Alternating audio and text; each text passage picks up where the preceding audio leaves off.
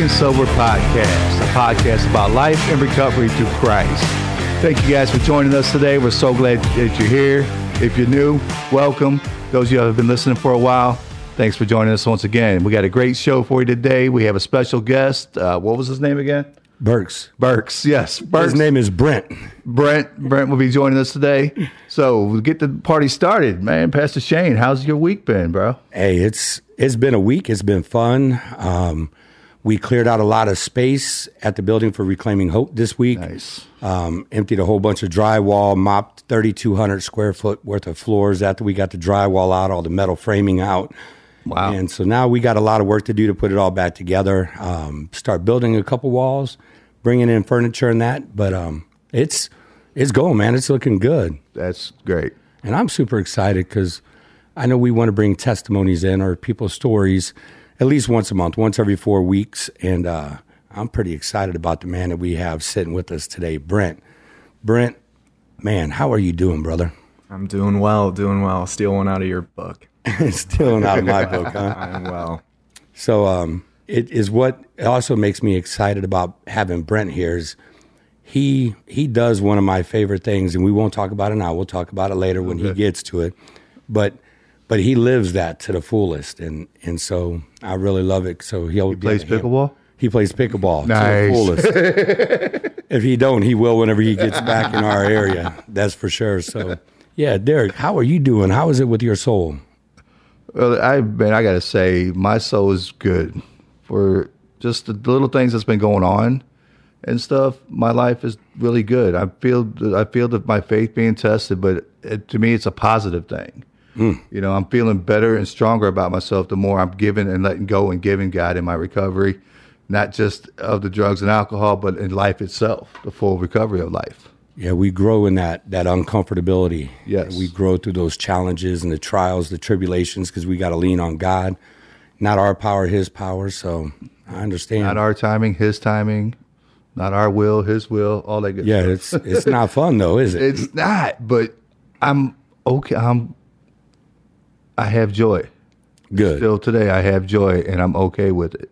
And we got somebody new sitting down here with us. He's not on camera, don't have a mic, but he's helping us over on the soundboard, um, kicking it his first time. And, and the bad thing is that we don't even have a set of headphones, so he can't even really hear everything. I mean, he could hear us, but he couldn't hear when we were doing what. And he did an excellent job. Steve, thank you, my brother. Good to have you. I'm glad that you're here with us. Since we're bringing him in, we got to talk about the two who are not here today.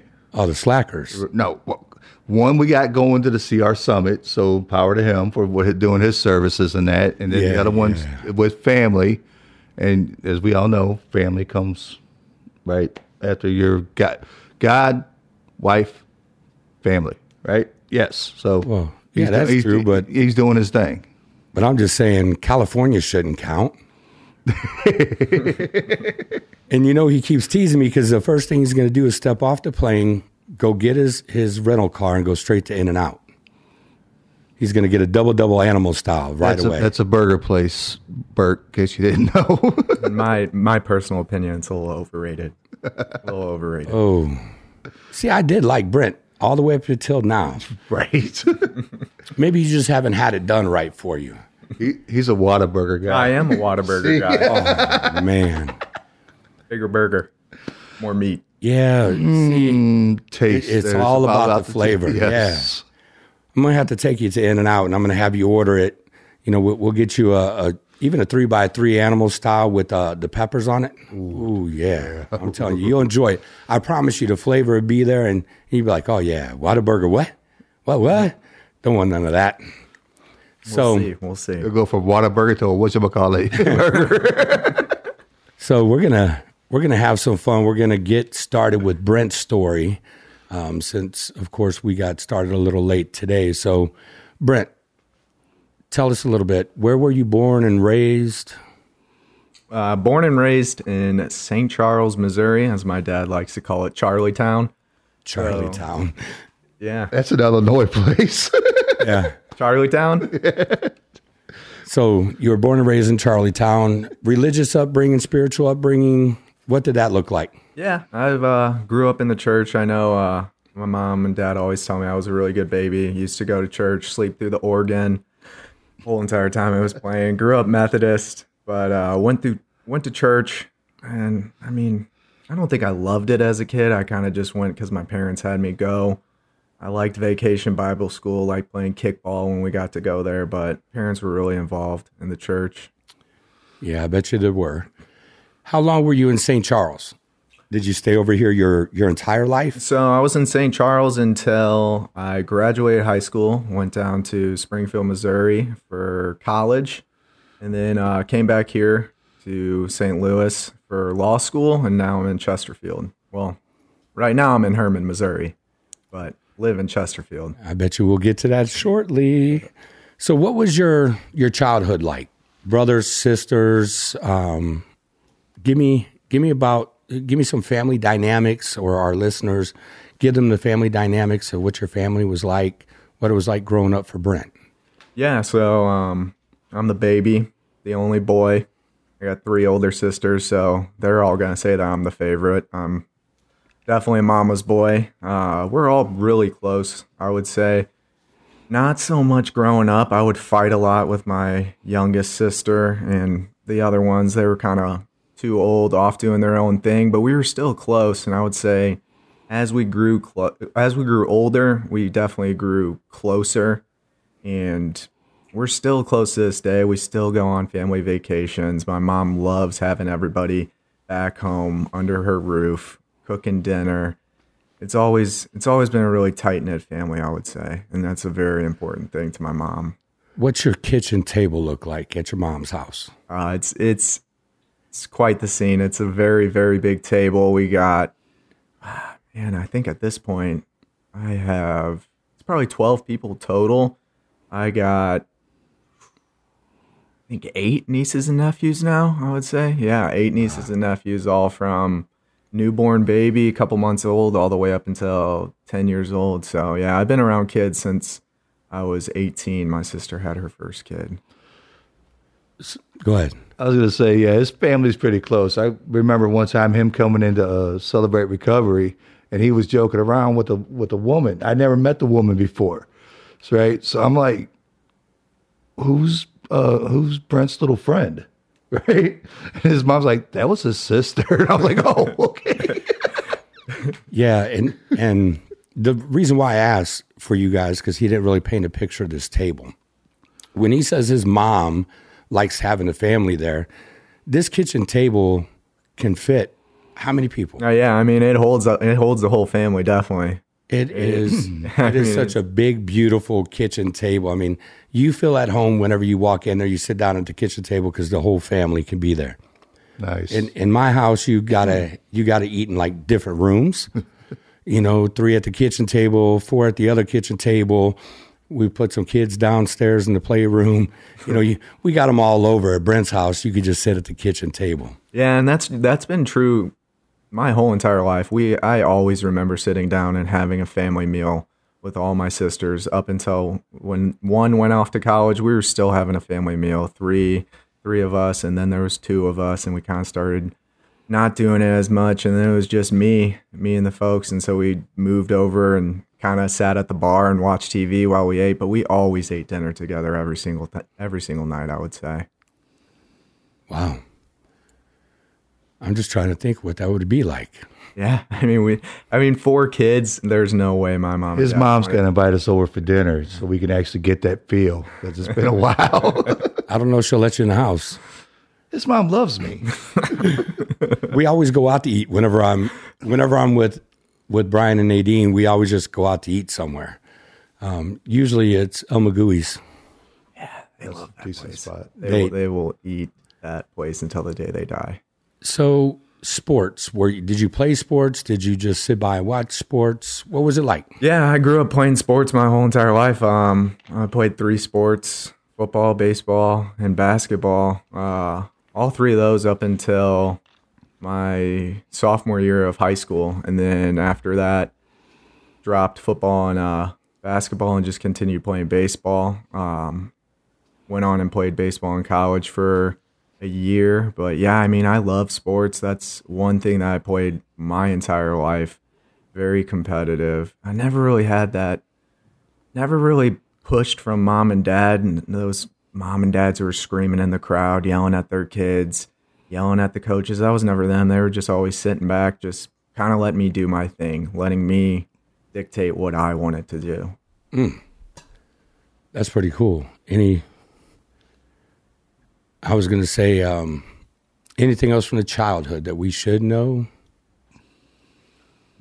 Um, I would say, yeah. I mean, one of the big things growing up, I would say, was.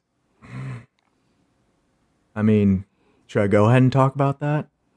You can talk about whatever you want, unless you want to talk about the first drink first. Yeah, let's let's go to the first drink, and I'll I'll I'll backtrack to that. So, how old were you when you had your first drink?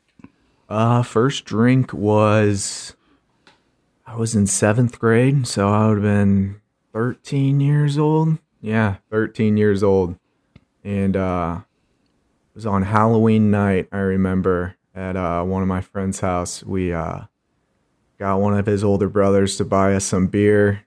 Uh, drank it before we went out trick or treating because I mean we were still going out trick or treating at that point, and yeah, I mean, I I'm pretty sure it was warm whenever we got it, so I didn't love it. But everybody was doing it. It was I really never even batted an eye whenever it came down to it to drink.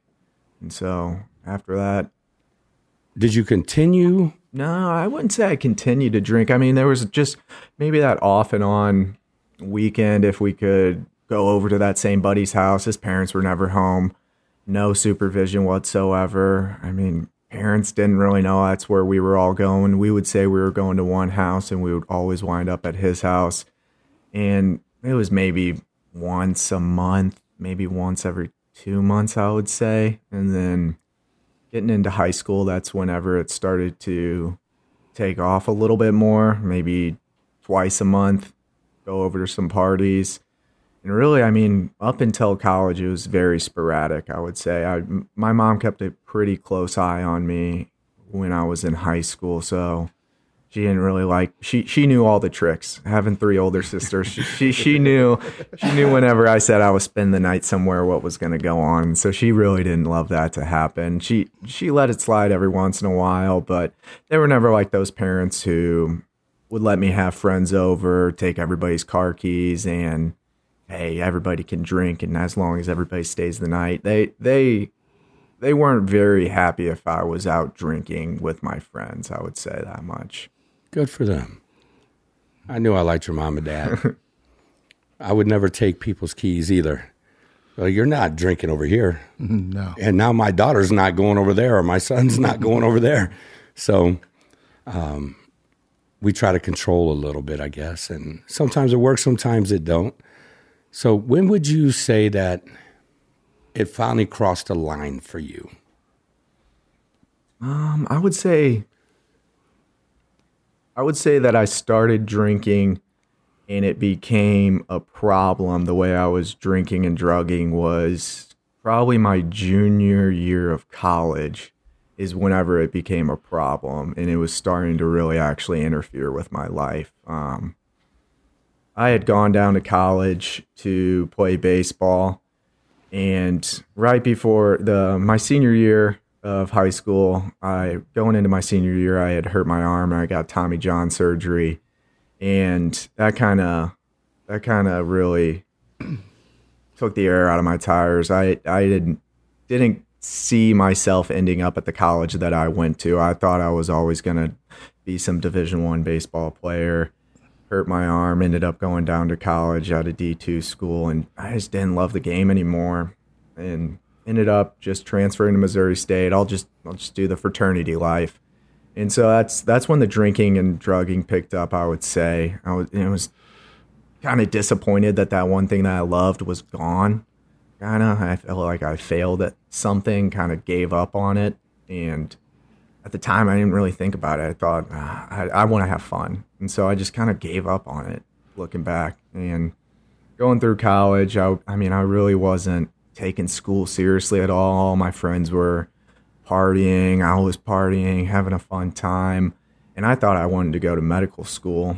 I don't, I don't really even know why I thought I wanted to go to medical school. My whole family was in the health health field and thought I wanted to go to medical school and I didn't go to class. And so when you don't go to class and you don't go don't don't go to your labs.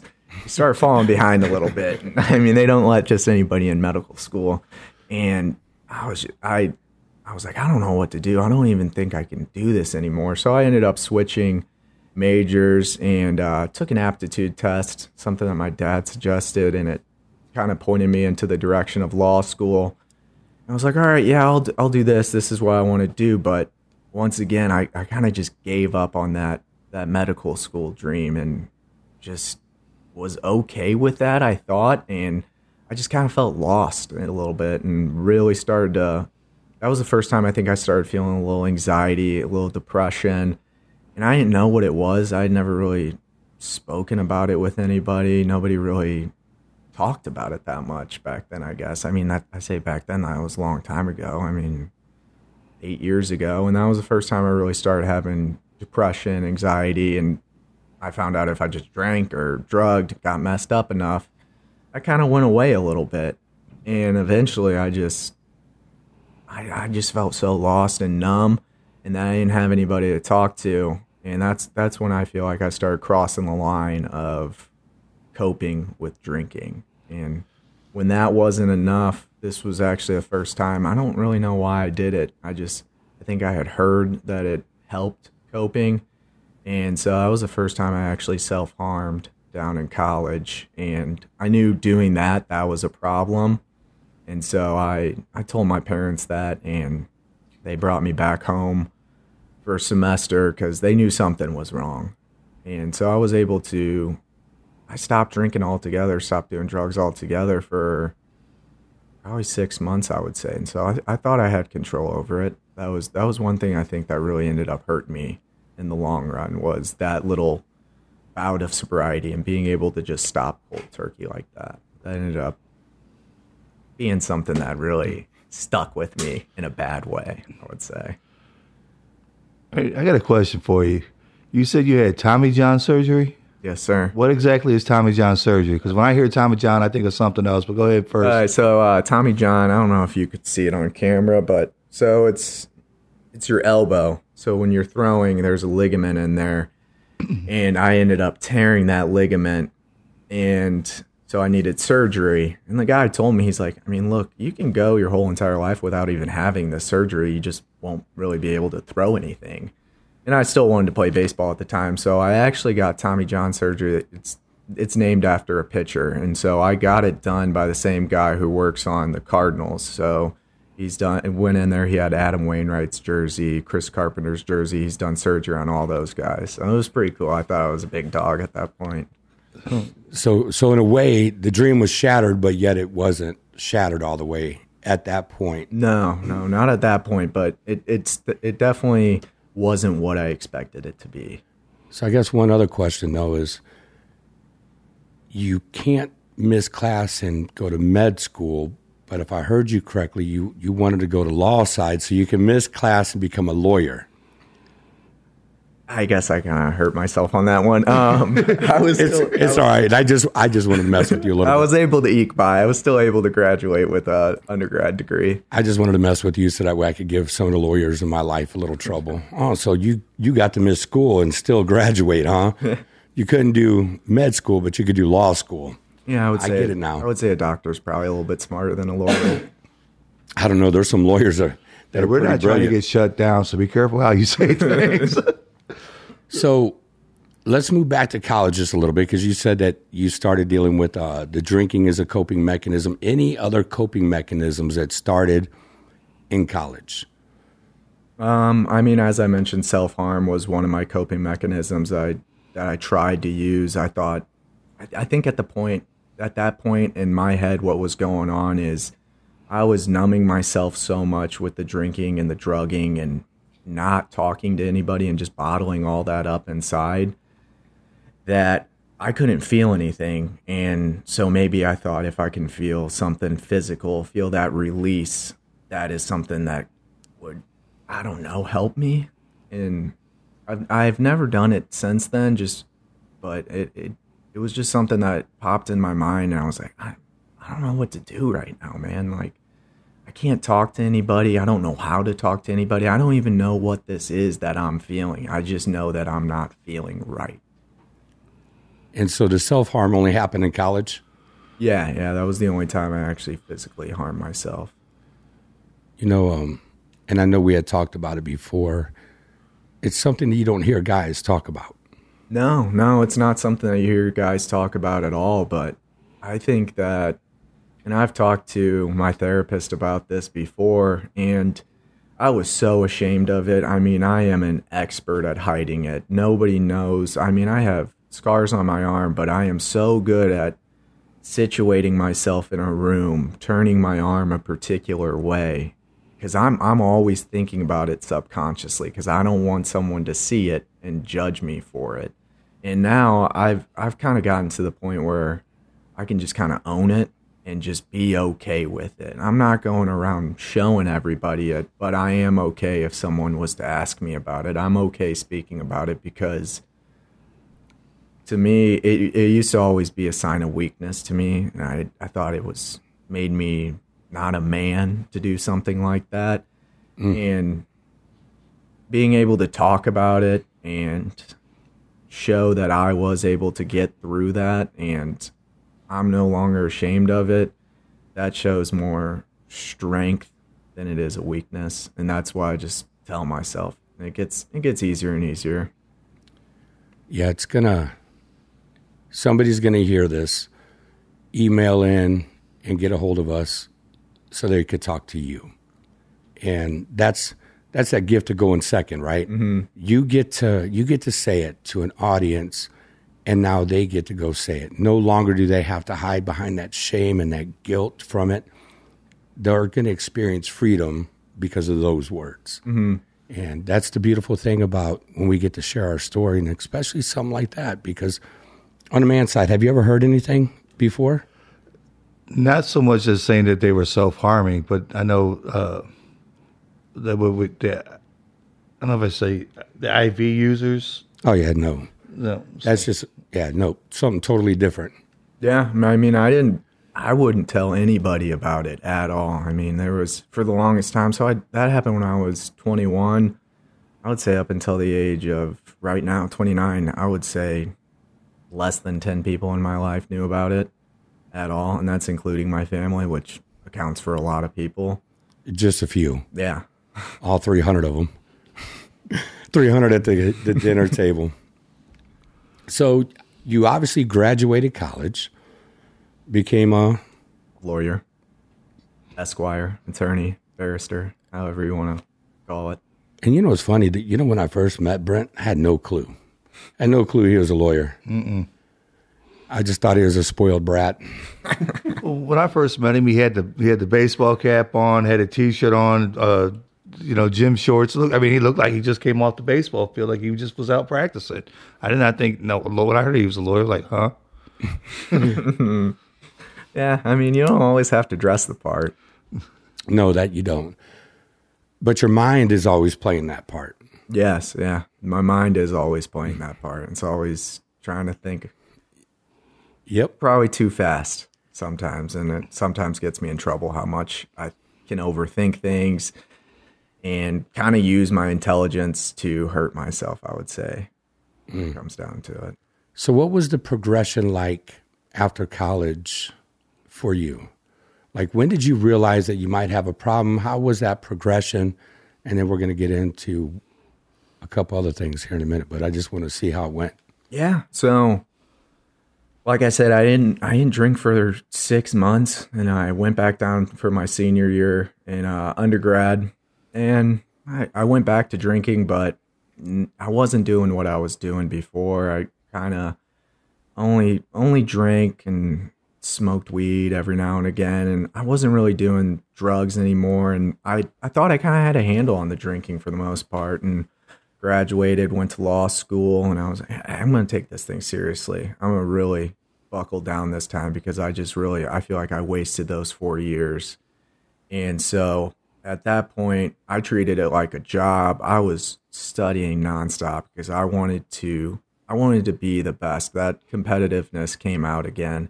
And so I, I really cut down the drinking a lot. I mean, I would maybe drink on weekends, have a beer at dinner with my family. There's really no alcoholic tendencies anymore. And I would say my third year of law school, right around the time COVID's happening, and I get a job that I had. I get that job offer pulled. Um, I'm not getting the the job opportunities that I thought I would get, that I thought I deserved. And I had worked so hard for that. And how can I not be getting these things? And once again, I feel lost. I feel like I'm a failure. And that's when I would say I would I started drinking again. And I know that I was drinking alcoholically because I was doing I was I was doing it alone. I was doing it after people had gone to bed. And I was doing it when nobody was around and slowly and slowly I noticed that I was I was drinking everything that I had in the house at that time. If I if it if it was there and I had no restraint on me, like someone was around to to say, "Hey, why are you why are you drinking so much?" I was going to drink it. And so that's whenever it started going off the rails and I started noticing that it was a problem and I couldn't stop at all. And I didn't think I was an alcoholic. I don't know why, but that term never really came to my head, but I knew something was wrong. And I started feeling depressed again. I started feeling anxious again. And the only thing that I thought was going to help was drinking. So I just kept doing that and doing that. And I thought there was, n- I didn't know what to do about it. I didn't know that I could stop and have somebody help me. I didn't realize that I could ask for help from somebody. And I got so deep into a hole that at one point I, I, I just wanted to end my own life. And so I made a plan to do it and decided this, this I thought it, I thought about it. I, was, I can't do this. I, this is not something I can do. I, I can't do this to the people that I love. And so I went and got help from my mom and dad and my sisters and I didn't tell them about the drinking. And so they found out about the drinking once they kind of had a closer eye on me and they realized that I was drinking a lot. And so that was the first time that someone said, Hey, I, I think you need to do something about this. And so I, I did an outpatient program for the first time back in 2020 didn't take it seriously. They told me to go to AA. Going to AA, I'm not an alcoholic. There's no way I'm doing that. and uh, after that, it uh, I I just I never was able to drink normally again after that point, ever again. I don't know what that means, but drink normally. Normal's a setting on a dryer. That's about it. And I don't even use that. So it's it's like delicates maybe, or you know, Right. uh, heavy if I got a, a comforter in there, but never normal. That's for sure. Let me ask you before we get into the other things. What do you think are some of the root causes that led to this? Um, I would say one of the biggest things that I know that I did was it wasn't what I did, it's what I didn't do. And that's I didn't speak up. I didn't tell anybody ever how I was feeling. I was always good. I was going to make sure everybody saw me as having it all together, always happy, can handle everything on my own. And I never wanted to ask for help. And that was one of the things that got me in the biggest trouble was never asking for help. My ego was too big. I couldn't let anybody see me. And when I say my ego was too big, I thought asking for help was going to affect my manhood. And that was the biggest thing. So that's a couple times that you've said something about your manhood. Why? Tell me. Tell me. What would make you worry about your manhood so much? Yeah, so this is kind of like what I alluded to a little bit in the beginning when I said, should I talk about this? Um, and th- I didn't find this out until just recently doing a four step actually with my sponsor, Shane. And, uh, Well, I guess that kind of ruins that part, huh? Yeah, Poor right. guy. and uh, I was uh, I was looking back in my life, and I, I was I was kind of thinking, all right, I'm, I think I'm done with this four step, and I was like, all right, someone someone had said something like, if I saw this person again, I would really that would really tick me off if I saw that. I was like, oh, do I have anybody in like that like that in my past? So I thought back, and there was a coach that I had back when I was little, back when I was six years old, and that's when I started playing football. And he treated us like we were grown men at the age of six. And you're a kid at that age. Football is a very physical sport. And so you're going to cry. You're going to get hit for the first time, and it doesn't feel good. And that's whenever I was first taught, and it stuck with me for my entire life is you don't cry. Men don't cry. Men don't complain because I'm not going to use the words that he used, but that makes you X, Y, and Z. And that really stuck with me. And I don't think I knew it stuck with me, but I mean, I would probably say after that, after being, if you cried, you were humiliated. And probably from that age on, I never cried from a physical injury ever again, no matter how bad it hurt, because that wasn't what a man did.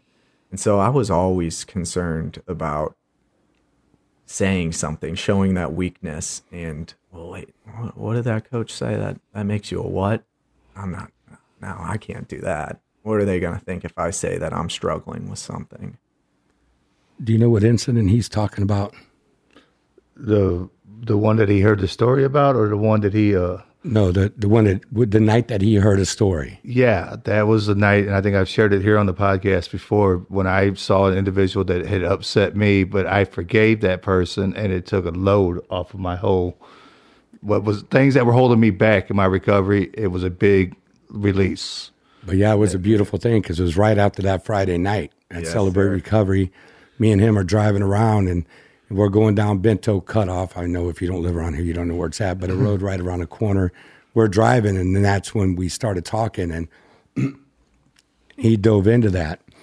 And I'm guessing having three older sisters wasn't always good for the manhood. No, no, I wouldn't say that was good for the manhood always. I mean, it, it always worked to my advantage with um, the females. I knew how to treat a woman. I knew um, how to be sensitive, I think, with women. But that growing up when you're a teenager and a young adult, that that's not how guys treat women. That's that's not how they see a man. That's not how a man treats a woman. And Isn't so, that sad? yeah, it is. Isn't that sad? So pretty soon, whenever you finally start dating again, um, that that's going to be a lucky woman because you know how to treat them. Yeah, definitely. And I know that that's that's what makes you a man. A man doesn't come from that stereotypical macho man, me man, you woman, you do these things for me type of deal. Heck no. See, I was going to ask because we come we come from uh, similar nationalities, so I didn't know if that had something to do with the, the whole manhood thing as well. Because in my household, man did not ask for, like you said, didn't ask for help. It was the machismo that we were supposed to conduct about ourselves. We were never to be weak by no means whatsoever, mm-hmm. and stuff like that. So I don't know if you was had that same thing in your household as well. No, I wouldn't say that. I guess I just have never really seen my dad ask for help. I'm sure he goes to my he confides in my mom, but you don't confide you don't ask for help from your children. And so I, I don't know if my dad ever asked for help. I always see him as having it all together, but I'm sure he's human. He he has his struggles. He he asks my mom when he's having his struggles. Oh, I'm sure he does. You got a heck of a dad. You got a heck of a family. Yes, sir. I mean, they they love you to death. I know you love them to death. And um, mom and dad, I'm proud of them. I can't wait till they come on here because we're going to do the same thing with Brian and Nadine. We're going to bring them on here. We're going to sit down and do an interview, and they get to talk about the other side of, of being the parents of. Yes. And so I think it's going to be good. So how about this?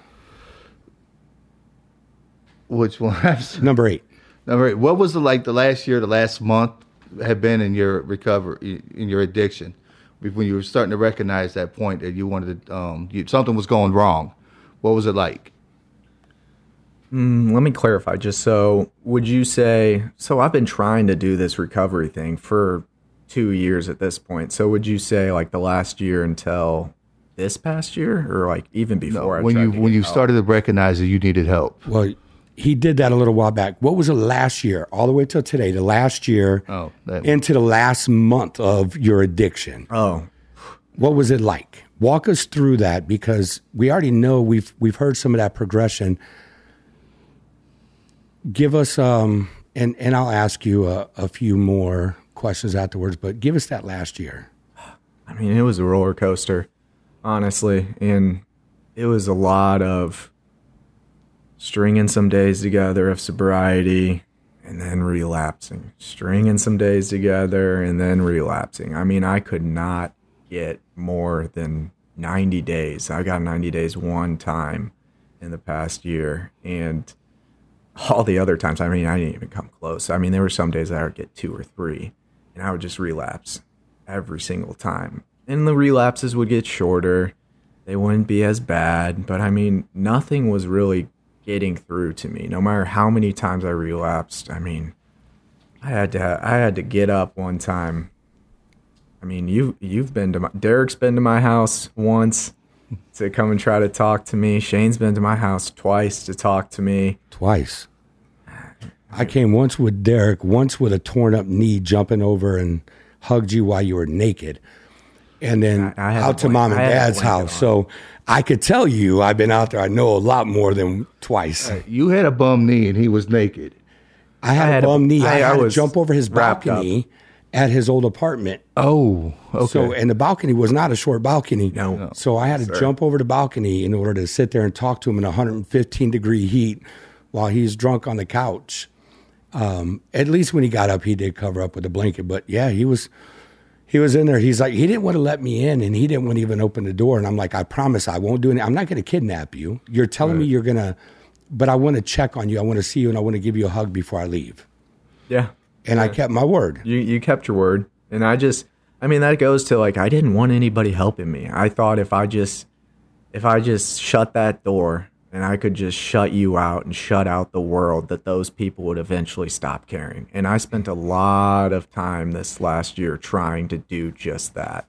And no matter how hard I tried to make people not care, They cared more. they cared more. I would push people away, and that just would bring them closer every single time. And it just doesn't work with that. It doesn't work with people that truly love you and truly care about you and want to see you get better. And I am so appreciative of those people over this last year who loved me when I couldn't love myself. Although I didn't reciprocate that love, that's that's what got me through. And yeah, it wasn't pretty, but it did get me to the point of desperation where I finally did want to get help. And this last time, whenever I decided to go get help and get residential. when was treatment, That was um, March of 2023, early March. March 15th is whenever I arrived at Arizona, March 14th.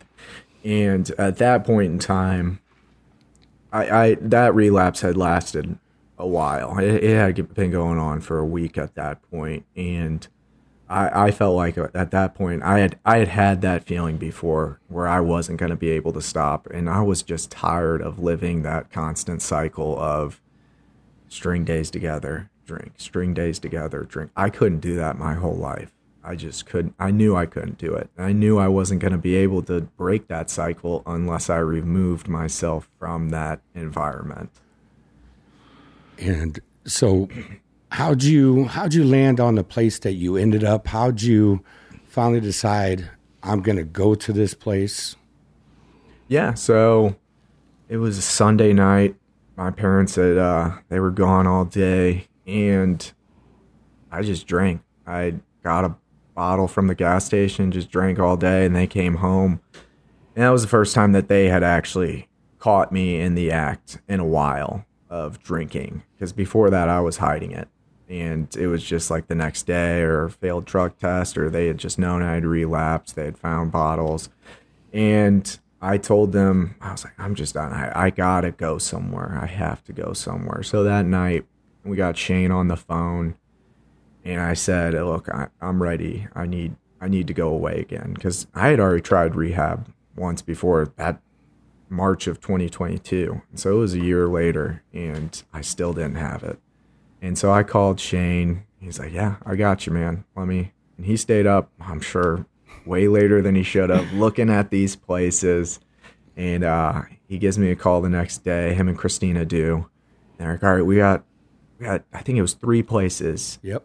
and I, I was I was thinking I was gonna go somewhere here in Missouri. I, I know these people here. I, like I'll work hard. I want this, and I'll still be comfortable. I still, I'll I'll be able to maybe see Shane and the people that I know.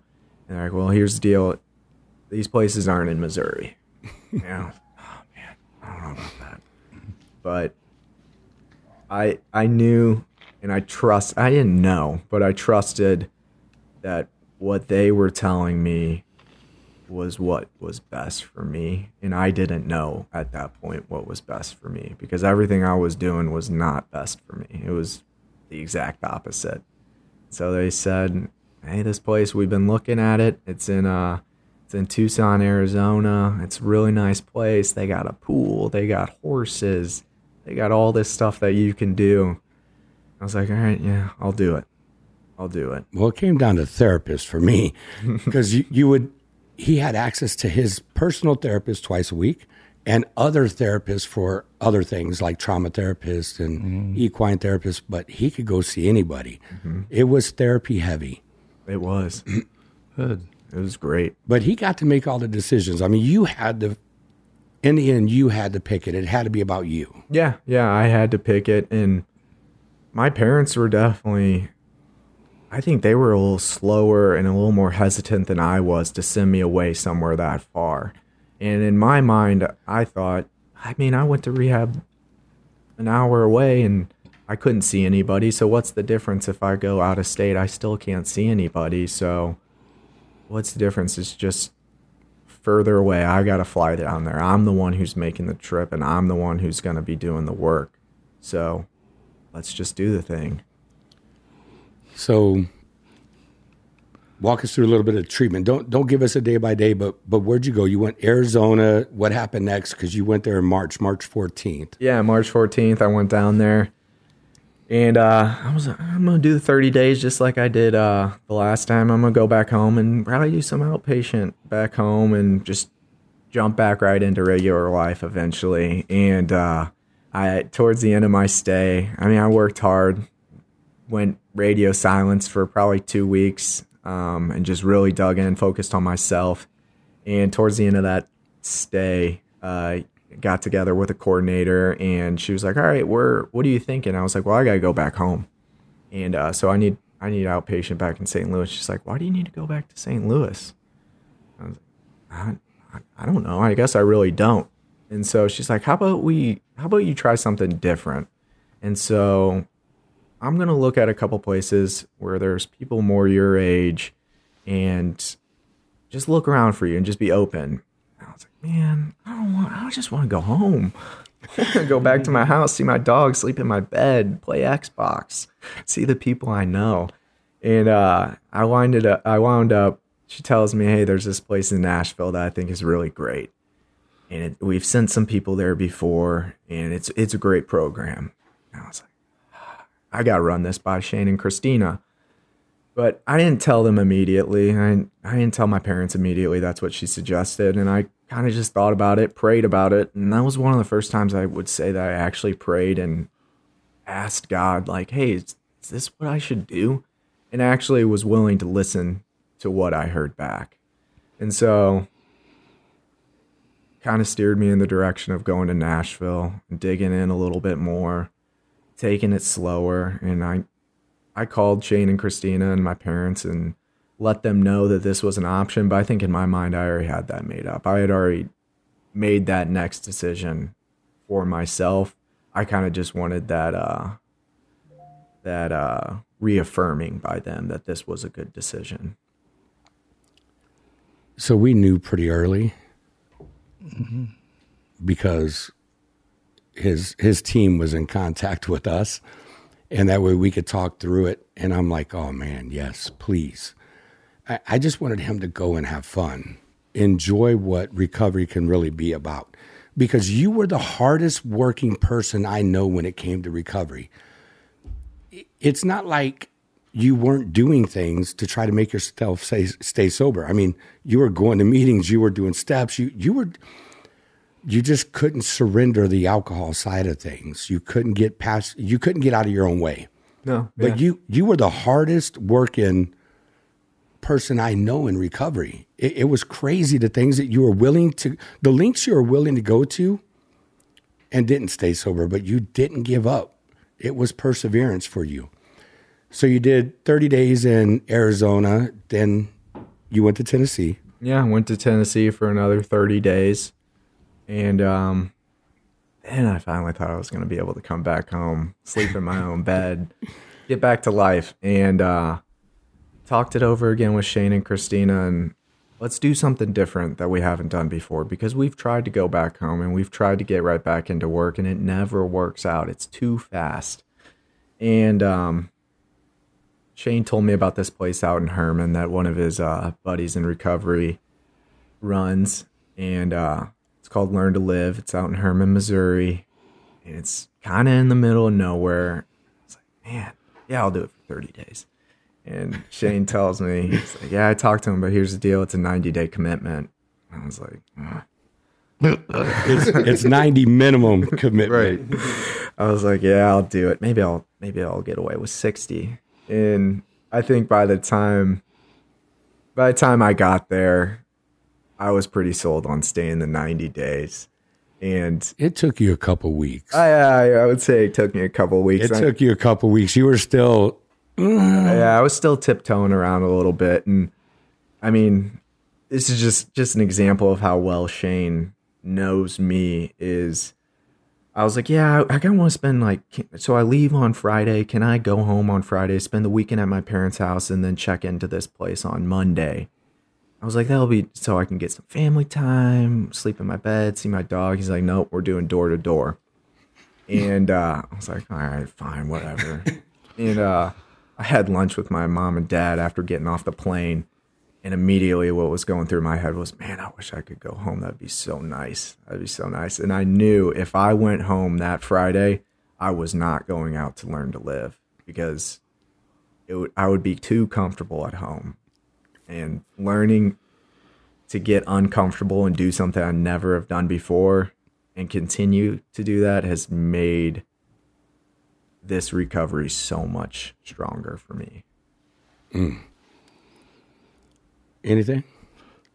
No, I just you know, I just want to know what has it been like for you since you've actually been working your recovery and your sobriety. How's it been? I mean, it's been it's been good. I would say that there's a whole combination of things and right now I mean, like I said before, I was I was struggling so hard to get to 90 days. I'm at 4 months right now, and that's the longest I've ever been and Congratulations. Thank you. And it hasn't been as hard as I thought it was before. And I think one of the biggest things is I just, I was just sick and tired. And I finally, that desire to drink is finally less than that desire to stay sober.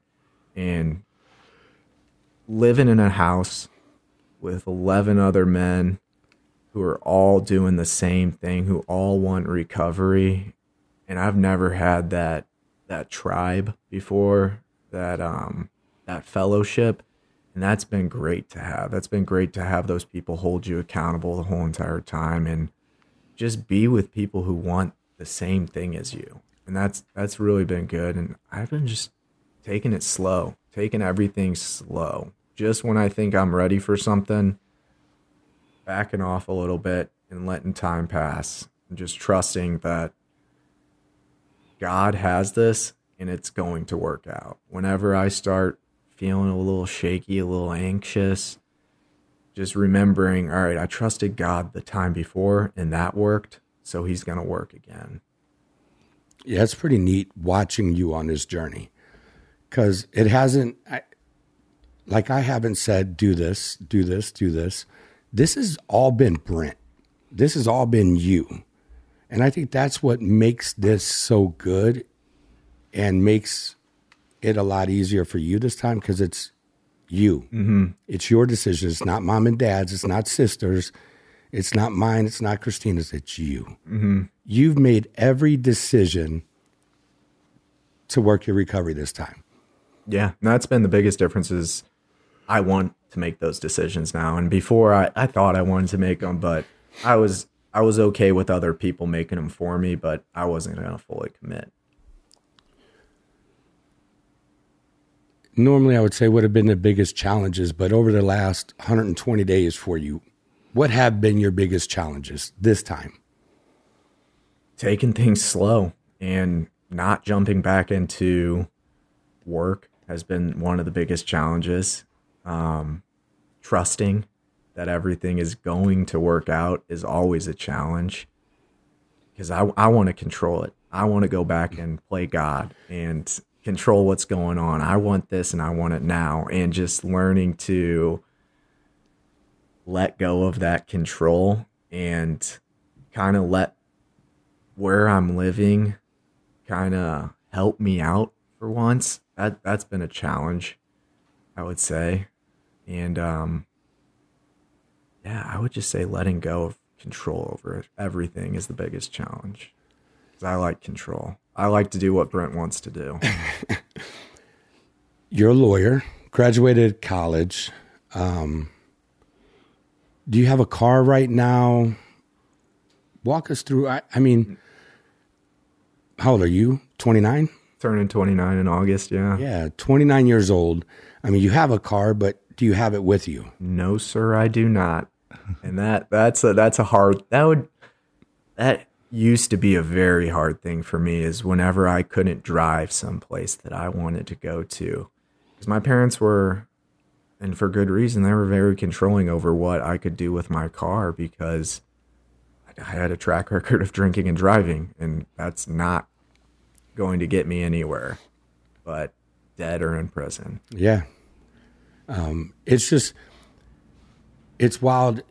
You've lived a good life. You have good examples. Your mom and dad are still married. Dad has a good, successful job. Mom is a wonderful mom and, and has a successful job. Three great sisters that, that pour into you and have always. So you were raised in a really good family. Mm-hmm. Yes. Lawyer, graduated college, but no car, no access to a car right now. Mm-mm. So, has that helped? Do you think? Yeah, it's definitely helped. It's definitely made me, I think, just focus more on my recovery and take things slow. Slower is faster. And I know once I get that car, things, I, I tend to kind of get in trouble a little bit. And uh, just kind of humbling myself and knowing that I have to make sacrifices sometimes. And because I don't have a car doesn't mean I'm some deadbeat, some screw up. Right. But that's what people think a lot of times. Yeah, definitely. But here you go. You got a lawyer sitting across, a successful guy, successful family, but he don't have access to a car, and he's okay. He's okay. I think a lot of those things mess us up early in recovery. Jobs, worrying about a job, worrying about a woman, and we talk about it quite often on here. Two things that ruin sobriety quickly: um, relationships and and money. And then, if I would have had a car at the beginning of my sobriety, I would not have stayed sober. I don't think, because I would have had it. But did you hear them? Slow is fast. I like it, but they're missing a key part. Slow is smooth. Smooth is fast. Right.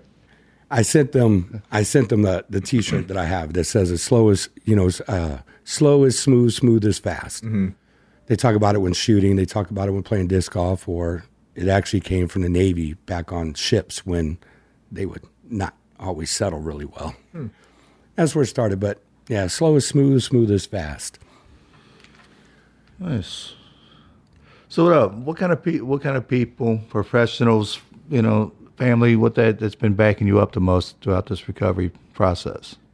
What they've been doing for you? I mean, I have had a lot of people in my corner this whole entire time, and that my biggest problem was I wasn't using them, and I refused to use them up until now. I I didn't want the help. Um, they were offering it, but I didn't want it. Uh, so I mean, I have a sponsor, Shane. I'm sorry. Uh, Derek, yeah, you, does everybody in this room share the same sponsor? yeah. Yes. The ones at this table, yes. Uh, Derek, Derek used to be my sponsor, um, but I was not a good sponsee at that point in time. I did not want it, but I mean, he's still someone who, if I know, if I had to turn to somebody, I could easily turn to Derek. So I would consider him someone who's backing me. I mean, I know I can go to him and talk recovery about just about anything with him now that I'm willing to talk. Um, I, I see a therapist once a week, uh, Christina, Shane's wife. I've been doing that for a All while. in the family. Yeah. um, kind of. We should mention also that we're all part of a certain program too. Yeah. Yeah, really is is you're connected with reclaiming hope. I guess is Yeah. yeah. learn to live, reclaiming hope. Two organizations really pouring into Brent. Um, Brent would not be where he's at. I mean, learn to live is amazing. Oh, yeah. Matt and the crew out there just they do amazing work.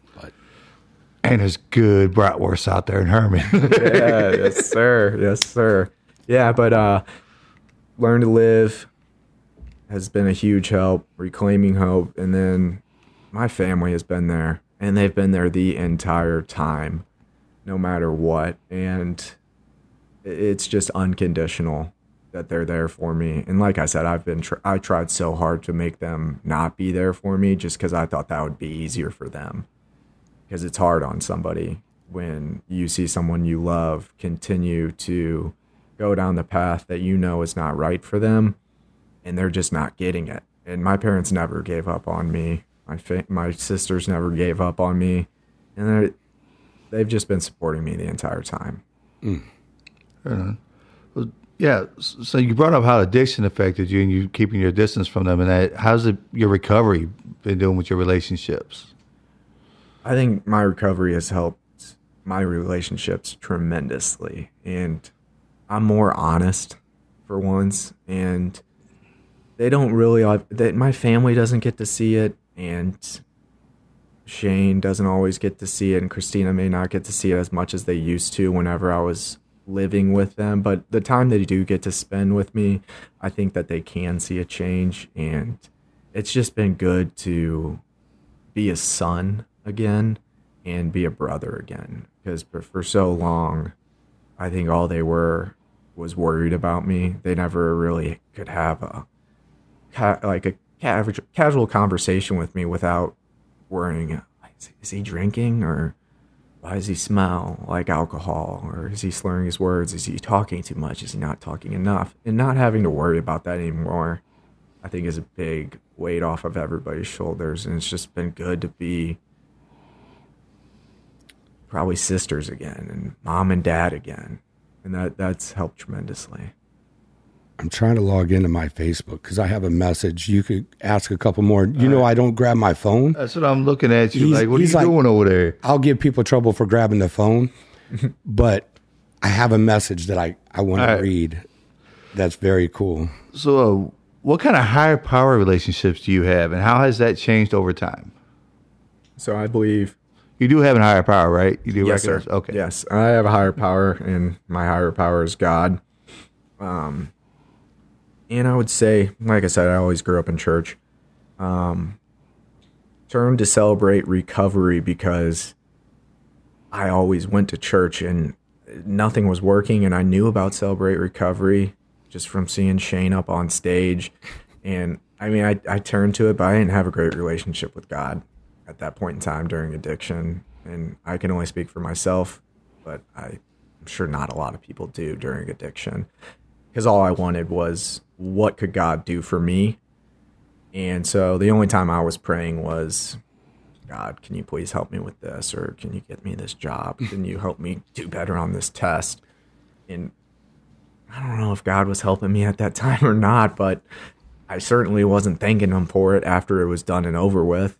And I was cursing him whenever I was down bad and blaming him. Why would you be doing this to me, God? And now my relationship with God is great. I'm not going to say that I have an awesome prayer life, but if I can do two things a day, and that's I wake up and I say, God, please help me just stay sober today and just help me with whatever I face. And then, even if I'm dog tired at the end of the night, just mumble a quick, hey, thank you, God. I appreciate that today. Thank you for another day. Yeah, buddy. so, what has, what's been the biggest tools that have helped you stay sober? what are your coping skills? What are the tools that you utilize on a daily basis? On a daily basis is I would say those two those two prayers help me a lot. And they're they're usually more than that, don't get me wrong. I, I, I bet do, they are. I do I do pray more and I can utilize prayer. That is one thing great about having a higher power is I can utilize that throughout the day. I mean, I'm feeling anxious during the day. I can just say a quick prayer. I'm going into a meeting, I run to the bathroom real quick and I can say a prayer. That's that's a big coping mechanism for me. Um, journaling. Uh, there it goes. There it is. journaling. I am a huge journaler and I absolutely love it now. I mean, I would say it, it didn't take much for me to start doing it. I've always loved writing and and I love being creative with the journal prompts and just kind of doing my own thing. Probably spent way too much money on pens. Anytime Christina tells me about some new journal she's got, I'm, ordering off of Amazon. Journaling's been a huge one. I journal every day in the morning, and then at night I do a quick little check-in that Christina's taught me to do called FANOS. So you go through your feelings, um, give yourself an affirmation, write down one need that you that have that you may have throughout the day. You own up to something that you've done, and then you write down one thing that you struggle with throughout the day. And sometimes I switch it up and say one thing that I'm successful with throughout the day. Oh, Nice. Just I, I like that, one. I like that throw a little curveball in. There Yeah. you go. well, I here like a four step. Keep it keep it balanced, right? Mm-hmm. I don't always have to write something that I struggle with. I love the success. Even if you write a struggle, why can't we write a success with it? Mm-hmm. Maybe make it a fan. Oh, s- Yeah, yeah. Yeah, you can just, I mean, you can really do whatever works for you, and that's what's been great. I mean, that's all I do. I, I try to meditate, but I'm not very good at it. But I try to get the Calm app, or I have some app that I paid a year for, so I should probably use it more. Um, yeah. you got another pin for that. What? I said you could have got another pin Yeah, for the yeah, yeah. I definitely could have. I don't think I've logged on in a while. Dude. Um, so, what strengths, what qualities have you developed during your recovery journey that you're most proud of? I'm most proud of, I would say the biggest thing that I've done, I don't know if it would I guess it would be considered strength is humility. I I've deflated my ego and pride and finally have that um that strength to speak up and say something if something is going wrong with me. I would say that's something that I've developed honesty. Um, finally got honest with people around me, got honest with myself. Um, resiliency would be the last one that I'm proud of. I haven't given up this whole entire time. And I'm glad I haven't because this my last 4 months have been great and I wouldn't have had that if I would have given up a long time ago. I would say your family would not have let you have given up. They they would have they would have drug him kicking and screaming. Oh, without a doubt. They would have kept dragging you, and and we would we would keep showing up at your house, you know, until you. We were going to love you until you wanted to love you. Yes, and you told me that a long time ago and I didn't believe it and I I, th- I think I finally believe it. Good, um, because we do we do love you. That's for sure. Good. So, what is like big biggest surprise in your recovery, man? What, in the last four months, what has been your biggest surprise? Man, I would say I think a lot of people would say how fun sobriety can be. But you know, I would want to say that my biggest surprise is just how little other people care who aren't in recovery when they see me not drinking. That was always a big, big worry of mine is like, what are people going to think that I'm not drinking? Or like, what are people going to say that I've been gone for work for so long? People don't care. And it's made it so much easier to just tell someone, yeah, I don't drink anymore. And if I'm close enough to them, I'll tell them, yeah, I don't drink anymore. I'm in recovery. And just say, hey, that's awesome, man. And they don't, they don't say like, oh, really? Why? What happened? Why, why did you decide not to drink anymore? Did this go, did this go wrong? What happened? Can't you could just drink once? No, people really don't say those things to you. And that's been the biggest surprise, I would say. because I think people are kind of letting go of that stigma behind hmm. recovery. So, what are your plans for the future? Not the hmm. future trip, but just what are your plans for the future, and how do you plan to maintain your recovery? I mean, I'm I'm taking it slow. I'm gonna spend. I've put no real time limit on my time at Learn to Live. Now that I've kind of given into that one. Um, hey man, that's right. so just keep doing that and uh, working at this recovery and living this recovery and not just making this some fad that's going on in my life and continuing to grow in my faith continuing to take the advice of other people and I love my job. I love my career. It's something that I really am passionate about and it's it's been great having it now that I'm sober and actually focused and so I'm really excited to see where that can take me, but I'm also really excited to see what I can do with recovery because I do love being around the people in recovery and I love seeing everything that my people are doing like Shane and Christina are doing with reclaiming hope and I I kind of want to be a part of that and see what I can do to help with that. And you know just just enjoying life letting go and letting God. Right on man. So uh a message of hope. What do you have for that per that that listener out there that's new to their recovery? What what's that message of hope that you have for them stick with it and not just only to stick with it, but it gets better. It may not seem like it immediately gets better, but it really does. You're going to have your ups and downs. And I wish someone would have told me that at the beginning that just because you get sober doesn't mean everything is going to be great, but it's going to be a lot better than it was before. And just keep pushing through maybe that hard hour that you have and don't let it ruin your day because just because you have a bad moment does not mean you have to have a bad day. Yes. I love that part. Brent, we love you, brother. We're so glad that you're that you came on, uh, willing to share. Yeah. I can't wait to have him on a couple more times as the journey goes. And don't worry, we already got plans for you. Without a doubt. don't don't worry about that, brother. We got plans for you. But thank you for being here. Yeah, thank you for having me, guys. I appreciate it. Oh, glad you're here, man. Yeah, we never stop loving you. You know, you ain't talked to me since the last time I seen you in uh, Kirkwood. I ain't to stop loving you, brother. You know that. hey, look, none of us heard from him for a while. when he went on that two week blackout, man, he made me nervous. I, I'm, I'm asking Brian, have you guys heard from him? Nope. All right. Well, then I found out that he obviously mom and dad ain't heard something's up. We we need to go find him. hey, look, all of us are proud of you. I have a message I was going to read from your sister, but we'll skip it. We'll save it for later. Um, even your sister reached out. I mean, the love and support that you have as a family is unbelievable. But I'm proud of you. I know everybody that knows you is proud of you and the journey that you've been on, and I can't wait to see what God's going to do in and through you next, brother. Thank you, brother. Love now, you. for the rest of you, we love you as well. Um, send us an email. Let us know what you thought about Brent. But um, also, we like to just hear a little bit of your story because maybe bring you on here and hammer yes. out some of these questions as well. So have a good week. God bless you guys, and we'll see you soon. Yep. And don't forget to check us out. Every podcast platform, we are there. All right. You guys have a great night. Steve? There it is. Hit it. We're out of here, guys. Thank you once again for joining us. Look at it, Steve. No headset, no nothing, and he's just right on.